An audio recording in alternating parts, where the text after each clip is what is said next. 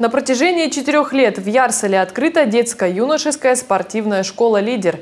И пусть это небольшой срок, тем не менее, за короткий период своего существования школа воспитала поколение ямальских спортсменов, которые защищают честь своего района на окружных и всероссийских соревнованиях.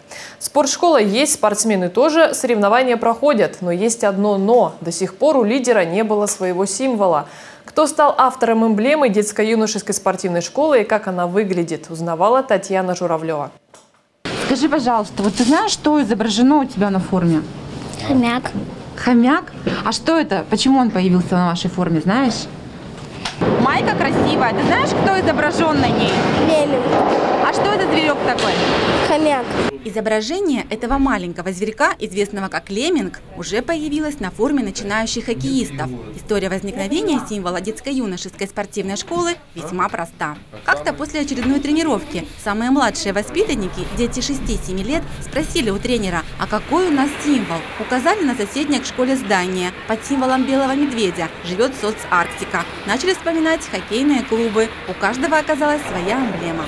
Так и пришла идея провести конкурс на символ ирсалинского лидера. Наши сотрудники и наши воспитанники э, предлагали свои варианты. Ну, мы вы, выбрали Леминга тоже совместно с детьми. Э, Леминг, потому что ассоциация у детей сразу с мультфильмом «Нормы несокрушимы», что будут куда-то наши ездить э, спортсмены юные с логотипом и будут тоже несокрушимыми.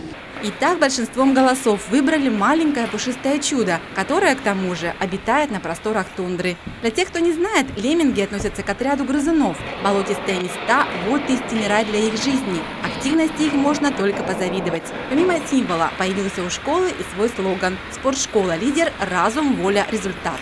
Новую форму с логотипом в виде лемминга версталинцы увидят 5 ноября. Детско-юношеская спортивная школа приглашает любителей спорта на большой праздник. К Дню народного единства у нас э, мы хотим провести небольшой праздник э, ну, наверное, больше хоккея, но вообще э, ледовых видов спорта, скажем так.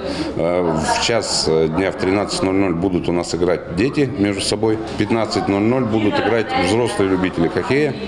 А между играми будет у нас выступление нашего тренера по фигурному катанию.